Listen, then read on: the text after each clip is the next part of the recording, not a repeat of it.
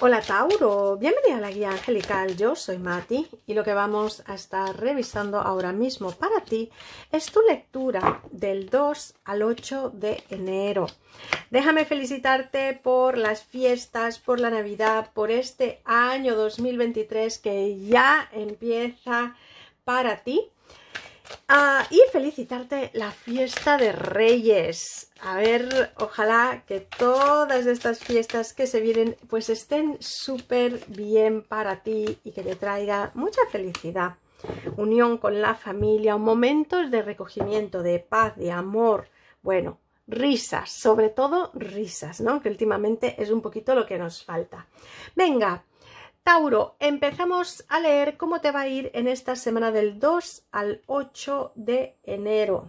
Tauro, las cartas me están hablando de estar como esta semana pensando, y pensando mucho. Muchos pensamientos vienen a ti y, un poquito que, te atormenta, ¿no?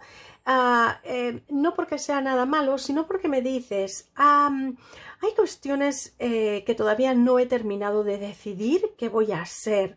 Tus objetivos para el año todavía no terminan de estar totalmente claros y yo creo que esta semana te sirve para enfocarte mucho mejor en cómo plantear este inicio eh, de 2023, pero sobre todo todo el año 2023.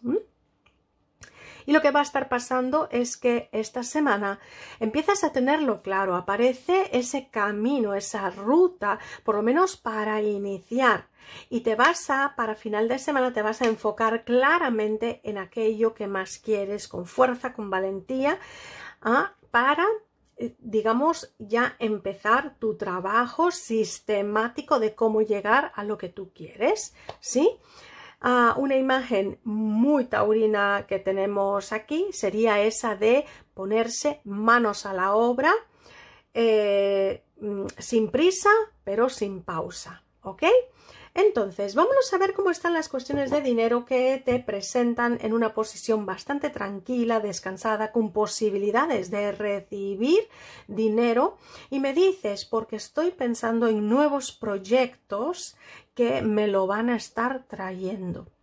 Y también porque visualizas una situación familiar que te traiga este, tal vez este dinero que estás queriendo atraer a ti. De todas formas, se te ve en posición eh, de abundancia y, de, em, y, de, poder salir de, cualquier problema financiero que se tenga. En cuestiones de dinero, hay una conversación importante que se va a empezar eh, esta semana volviendo al trabajo o tal vez ya, digamos, mm, justo en estos días de ya incorporarse, ¿no? De empezar ya bien el año de 2023. Y se va a conversar en el trabajo de eh, unas posibilidades que hay para ti, eh, como de proyección laboral, proyección, em, vamos a decir, como eh, profesional y yo creo que llegas a un excelente trato ¿sí? que te abre a toda una situación nueva. Para algunos es un ascenso, para otros es un cambio de proyecto de trabajo eh, que la verdad trae gratas sorpresas financieras para ti. Vámonos a ver cómo está Tauro que está buscando ese trabajo que me dice que estos días son un poquito complicados para obtenerlo pero tal vez vamos a ver en días sucesivos que hay una conversación importante, días sucesivos, ¿eh?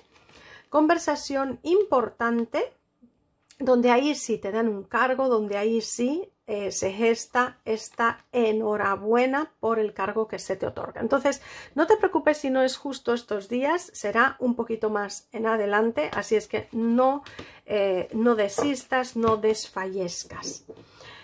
En cuestiones del amor, a ver, Tauro. Tauro eh, me sale con muchos pensamientos acerca de terceras personas que se han estado metiendo y entrometiendo en la relación. No solamente tengo cuestiones como suegras, a ver si eh, mi pareja se está metiendo con alguien del trabajo, a ver si eh, tengo a, no sé, pues una hija ahí que, o un hijo que está ahí eh, metiéndose. Entonces, esta semana yo te diría, Tauro, piensa, piensa, piensa, pero de forma tranquila. Pide sobre todo, si puedes, medita. Y si puedes, pide a tu ser superior que te explique cómo salir de esta situación, porque lo vas a estar recibiendo y viendo claro si lo pides, porque te veo justamente recibiendo esta especie de inspiración divina para resolver tus temas de pareja, donde es como si fuese un impasse de tu mente estos días y en cuanto logres asentar tus conceptos, pues todo va a ir mejorando. A nivel de eh, las personas de Tauro que están buscando el amor, no veo que sea una semana buena para encontrar un gran amor, pero sí tal vez un ligue, pero sí tal vez un rollete. Para eso sí que va a haber tiempo. Si ese es tu plan, adelante. Y para quienes están en relaciones ocultas, relaciones de triángulo amoroso, lo que se ve es mucho más conversación que no verse. ¿Sí? Es como que estamos momentáneamente un poco alejados, tal vez estamos de vacaciones, tal vez mm, hemos viajado y tal, de forma que no podemos vernos, pero sí estar conversando. No te preocupes que el anhelo continúa ahí. Ah, en cuestiones eh, del hogar, de la familia, la verdad es que veo, ya te digo, altercados que surgen por terceras personas que están ahí como pululando.